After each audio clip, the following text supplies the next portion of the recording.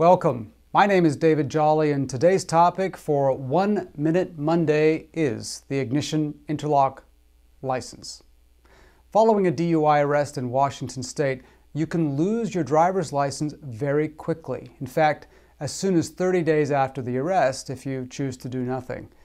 If you request a Department of Licensing hearing and lose, you will likely lose your driver's license 60 to 90 days after the arrest.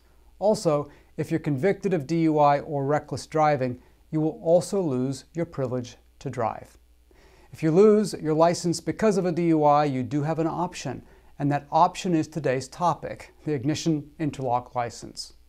Here are the steps to properly obtain an Ignition Interlock License. Number one, mail in the Ignition Interlock License application. The link is in the description below and include the $100 application fee.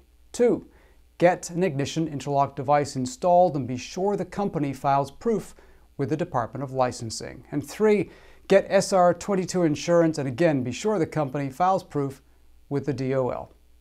For more information on the ignition interlock license or related legal issues, please subscribe to this channel or read our blogs.